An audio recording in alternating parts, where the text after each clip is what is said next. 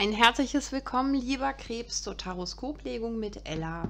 Wir sind in der Woche 22. bis 28.10.2018 und wir schauen auch in dieser Woche, wie die Energien liegen, was du nutzen kannst, was dir weiterhilft. Du entscheidest natürlich, inwieweit du das nutzen kannst. Es ist eine allgemeine Legung und kann deshalb nicht immer für jeden passen, aber du ziehst dir das raus, was dir weiterhilft und dann hat es seine ja, Daseinsberechtigung. So, wir gucken mal, welche Energien von außen auf dich zukommen, also was deine Umwelt so dir entgegenbringt. Wir haben den Narren. Das ist eine unbelastete Natur, sage ich mal, jemand, der frei ist, der unabhängig ist, der gerne auch mal ein Risiko eingeht und ja, wahrscheinlich hast du ein paar Leute um dich herum, die so gestrickt sind und die dir so vielleicht auch ja, Mut machen, selber auch mal ein Risiko einzugehen, je nachdem. Schauen wir mal, was die Karten sagen. Das erste, was wir haben, ist die Karte, wie du dich fühlst, wie du über dich denkst. Dann haben wir deinen Wunsch in dieser Woche. Wir haben deine Hoffnungen und Ängste. Das, was gut ist für dich in dieser Woche. Das, was vielleicht nicht so gut ist in dieser Woche. Und natürlich den möglichen Ausgang. So, und dann gucken wir natürlich auch nach den einzelnen Wochentagen. Und da gucken wir nach den Energien, die wir an den Tagen haben. Das kann natürlich auch mal ein Tag vorher, ein Tag später sein.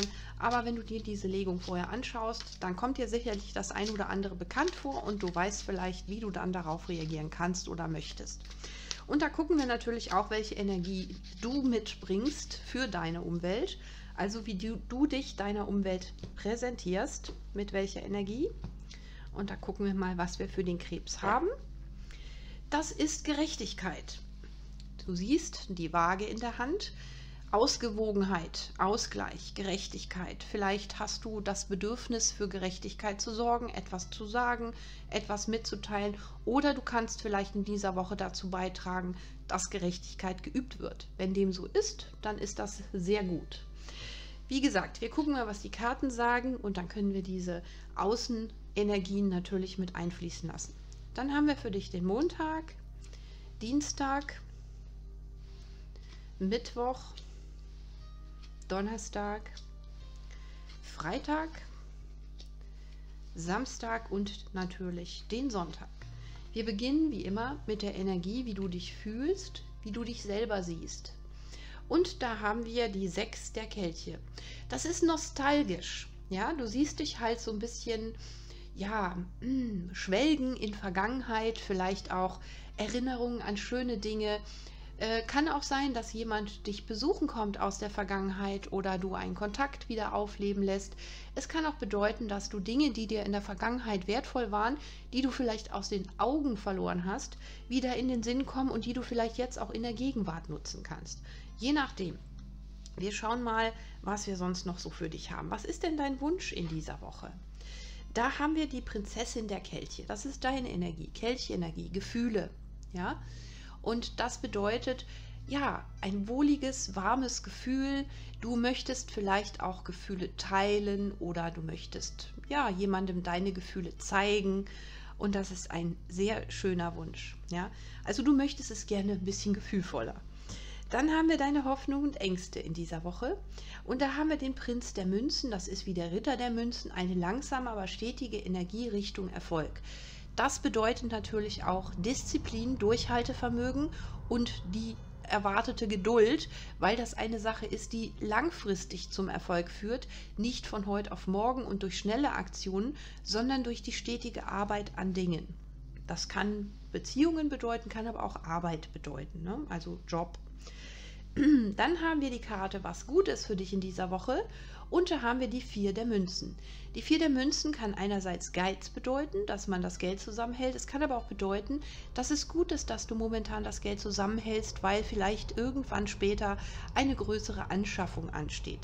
Das kann aber auch bedeuten, an etwas festzuhalten, was dir sehr wichtig ist. Vielleicht die Gefühle, vielleicht eine Person, vielleicht etwas, woran dir gelegen ist, vielleicht auch etwas aus der Vergangenheit. Dann haben wir die Karte, was nicht so gut ist für dich in dieser Woche und das ist das Ass der Münzen. Ich denke mal, dass wahrscheinlich in dieser Woche der große Geldsegen einfach noch nicht erfolgt. Das hat ja mit der Arbeit zu tun, das sind auch Münzen. Aber es ist sozusagen eine Ankündigung, dass das möglich ist, aber eben noch nicht in dieser Woche. Das ist einfach noch nicht der richtige Zeitpunkt dazu. Was ist denn der Ausgang oder der mögliche Ausgang in dieser Woche? Tschernunas, das ist der Teufel, das ist so ein bisschen Obsession. Ähm, kann sein, dass du vielleicht etwas obsessiv betreibst, vielleicht auch obsessiv arbeitest, das kann auch eine Obsession sein, um den nötigen Erfolg zu bekommen. Aber das Ass der Münzen ist halt momentan noch nicht greifbar, deswegen wäre das vergebliche Liebesmüh und deswegen solltest du dich da auch nicht überfordern. Wir gucken da sowieso noch ein bisschen tiefer nach. Gucken wir mal, wie die Energien Montag für dich da sind. Da haben wir die sieben der Kelche.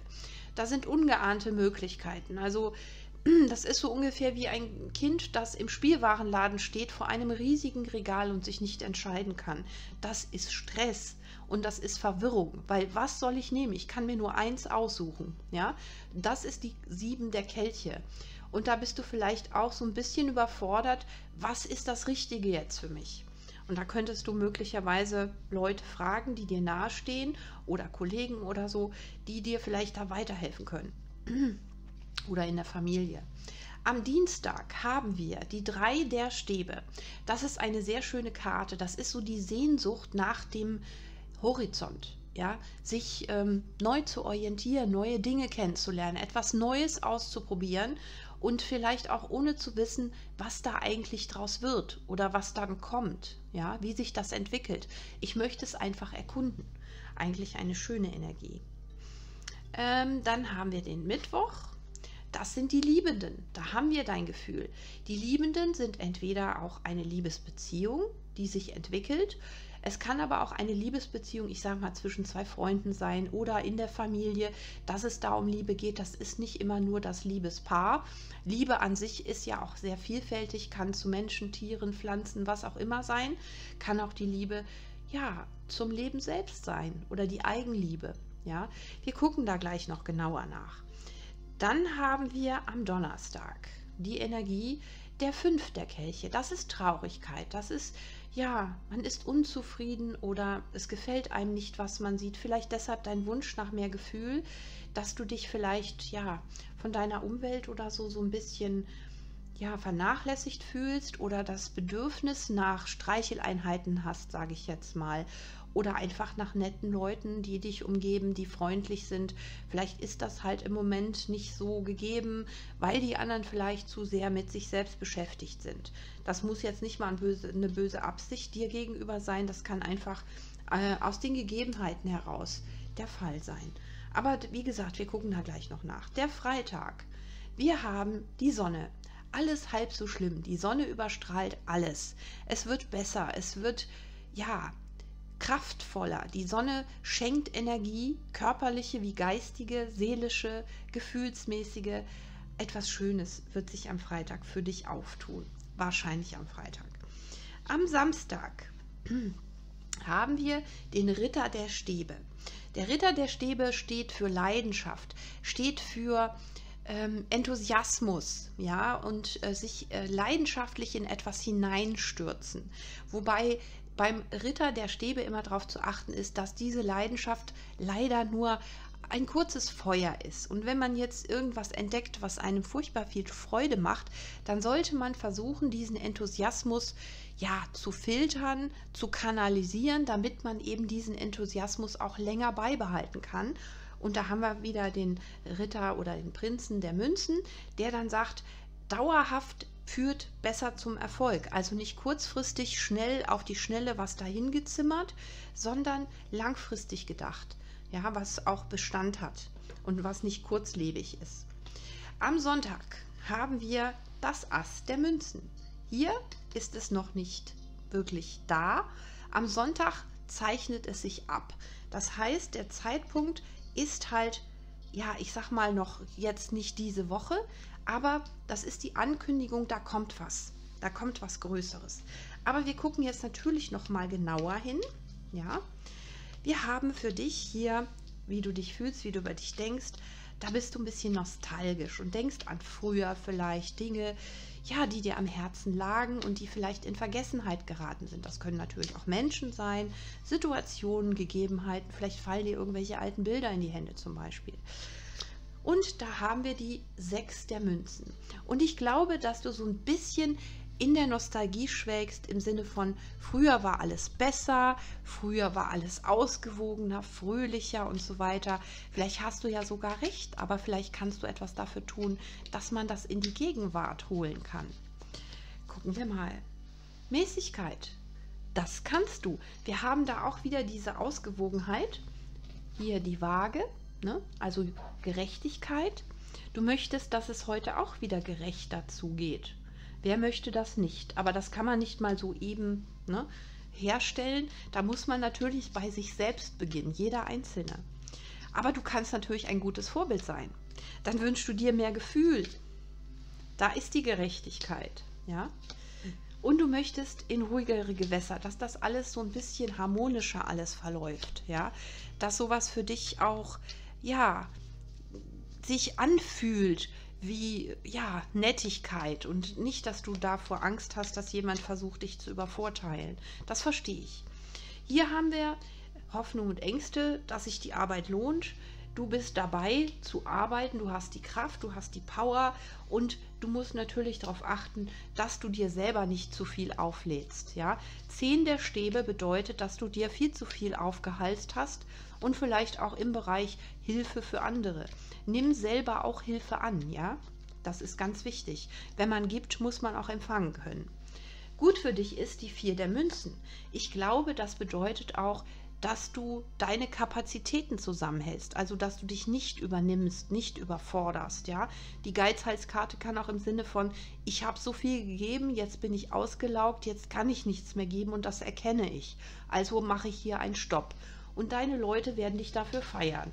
Und das ist auch einfach gut so, weil wenn du dich verausgabst und ich sag mal so viele Belastungen auf dich nimmst und anderen hilfst und so weiter, bleibt ja irgendwann nichts mehr von dir übrig. Deswegen lass dich selber mal feiern, lass dir selber helfen und das scheint ein Feuerzeichen zu sein. Schütze, Widder oder Löwe, der oder die dich unterstützt. Ja, das ist ja geschlechterunspezifisch hier. Ähm, das sind einfach ähm, die Karten, das ist der König der Stäbe, aber kann im Allgemeinen auch eine Frau sein natürlich. Nicht gut für dich wäre jetzt hier auf das Geld zu achten, auf die ja, Stabilität und Sicherheit zu achten. Es geht um deine Gesundheit, darum, dass du dich eben nicht überbelastest und da musst du von ab. Ne? Stabilität und Sicherheit, alles schön und gut, aber dieses Ass der Münzen bedeutet ja auch, dass du tatkräftig mitwirken kannst. Nur wenn du dich verausgabt hast und für andere gearbeitet hast, anderen geholfen hast, dann bleibt ja nichts mehr übrig für dich selbst. Ja? Darauf solltest du achten, dann ist es auch da. Dann haben wir den möglichen Ausgang, da haben wir diese Obsession, diese unglaubliche Hilfsbereitschaft. Und da sagt dir der Ritter der Stäbe das Feuerzeichen so bis hierhin und nicht weiter. Ich werde leidenschaftlich dafür sorgen, dass du auch mal dran bist und auch mal zur Ruhe kommst. Denn dein Gedankenchaos bringt uns hier nicht weiter. Ja? Du musst wissen, du musst dir selbst der Nächste oder die Nächste sein. Du musst für dich selber sorgen. Und erst dann, wenn es dir gut geht, kannst du auch vernünftig für andere sorgen. Am Montag wir ein überschäumendes Angebot und da ist ein König der Münzen, ein Erdzeichen. Da sind Jungfrau, Steinbock oder Stier, die möglicherweise dir dieses Angebot unterbreiten. Und ähm, ja, da musst du aufpassen. Wie gesagt, lass dich nicht übervorteilen. Ähm, überlege dir, ob du dieses Angebot annehmen möchtest oder nicht, ob du das bewältigen kannst, weil du ja schon überbelastet bist. Und dann sei wieder nah, fröhlich und frei und geh die Dinge an. Das ist die übrigens auch diese Energie, die von außen kommt. Ja, dem kannst du dich vielleicht anpassen, dass du unbelastet an Dinge herangehst. Da ist etwas mit der 3 der Stäbe. Du möchtest dir deinen Horizont erweitern und da ist die Möglichkeit. Ja, Bube der Münzen. Du hast die Möglichkeit. Warum tust du es nicht? Ja, aber das ist auch deine Karte der Wagen Du gehst voran. Du wirst das tun, was dir Freude bereitet, wo du dich wohlfühlst, welchen Horizont du erobern möchtest, ja, und gib ein bisschen von deinen anderen Belastungen an andere ab. Wir haben am Mittwoch die Liebenden und da geht es auch um Arbeit. Wahrscheinlich arbeitest du wie verrückt daran, die Liebe ja mehr oder weniger am Leben zu erhalten, für die Liebe alles zu tun oder aus Liebe alles zu tun, ja.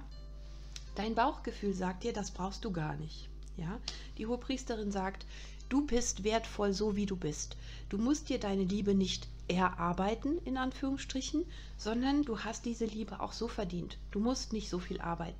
Man kann zusammenarbeiten, aber du musst nicht letztendlich derjenige oder diejenige sein, äh, der oder die alleine das Ganze trägt. Wir haben die fünf der Kelche und wir haben die acht der Kelche. Und das bedeutet, du lässt ein paar Dinge hinter dir. Vielleicht aus der Vergangenheit, du hast viel gearbeitet, du hast dich bemüht, äh, versucht alles am Laufen zu halten. Jetzt sind die anderen mal dran und du musst einfach mal loslassen. Gönne dir die Ruhe, die du brauchst und fühle dich gewertschätzt, so wie du bist. Denn am Freitag scheint für dich die Sonne. Und das ist auch so gewollt. Der Hierophant, Institution, ne, auch das höhere Ich und der Stern. Greif nach den Sternen. Lass dich auch mal ein bisschen verwöhnen, ja. Lass mal die anderen ein bisschen arbeiten und genieße das, dass du im Mittelpunkt stehst, dass du auch mal Arbeit abgenommen bekommst, dass jemand da ist, der dich feiert, ja. Und für die Münzen sorgen auch andere, ja. Du bist nicht der Einzelkämpfer oder die Einzelkämpferin. Denk daran. Und es ist manchmal schwieriger, etwas anzunehmen, als etwas zu geben, aber das musst du lernen. Am Samstag haben wir wieder diesen leidenschaftlichen Ritter und wir haben die Königin der Münzen. Das bedeutet möglicherweise eine Feuerenergie gepaart mit Erdenergie, also stabil und sicher und das ermöglicht dir dann auch die Erweiterung zum Horizont. Dann haben wir am Sonntag die Ankündigung des Asses der Münzen und das kommt in Teamarbeit. Das musst du nicht alleine tun. Ja? Vergiss das bitte nicht, mein lieber Krebs. Denn es gibt, glaube ich, ein paar Leute um dich herum, die dich sehr schätzen und die das auch mit dir gemeinsam bewerkstelligen möchten. Und ja, du musst das nicht alleine tun. Da sind genug andere, die dir hilfreich zur Seite stehen und das vielleicht aus Dankbarkeit tun.